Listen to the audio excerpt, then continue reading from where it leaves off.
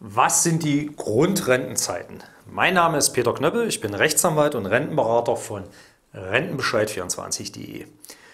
Die Grundrente ist ja in aller Munde und im Mai 2019 soll ja ganz aktuell der Gesetzesentwurf von Hubertus Heil zur neuen oder zur Grundrente kommen.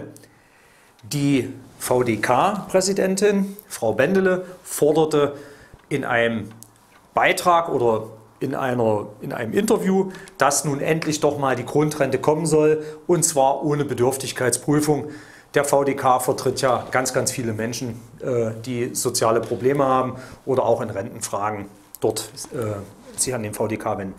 Und eine der Hauptforderungen der Frau Bendele ist auch, dass die Zeiten des Bezugs von Arbeitslosengeld 1 äh, in die Grundrentenzeiten mit aufgenommen werden. Die Grundrentenzeiten sind laut einer Vorstellung aus einem Arbeitspapier vom Februar 2019 des Bundesarbeitsministeriums äh, folgende Zeiten. Erstens, das sind sogenannte, also nicht sogenannte, das sind Pflichtbeitragszeiten, also Zeiten, äh, in denen ich einen Nachweis bringe, dass ich arbeiten war oder Krankengeld bezogen habe.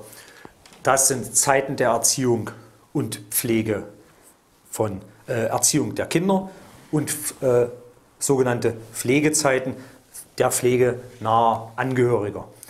Was nicht in die Grundrentenzeiten fällt, ist zurzeit äh, ganz klar definiert keine, Beitrags, äh, keine freiwilligen Beitragszeiten und auch keine Rentenbezugszeiten wegen, äh, einer, wegen Bezugs einer Erwerbsminderungsrente oder anderer äh, vorzeitiger Altersrenten wegen Krankheit.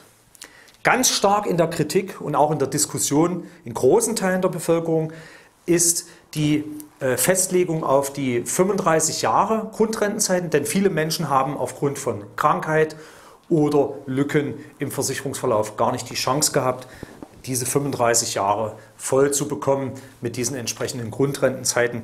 Das wird also nochmal zu einer ganz heftigen Diskussion äh, sorgen, wenn der neue Gesetzes- oder wenn der Gesetzesentwurf dann tatsächlich da ist. Da muss man dann halt schauen, wie sich der Gesetzgeber tatsächlich zu dieser Frage positioniert. Ganz starker Gegenwind auch jetzt am 6. Mai 2019 kommt von der CDU. Die CDU hat klipp und klar gesagt, ohne Bedürftigkeitsprüfung gibt es bei uns, gibt es mit uns keine Grundrente. Ich habe fast den Eindruck, die CDU äh, befürchtet hier den Eintritt des Sozialismus, was natürlich gelinde gesagt völliger Blödsinn ist.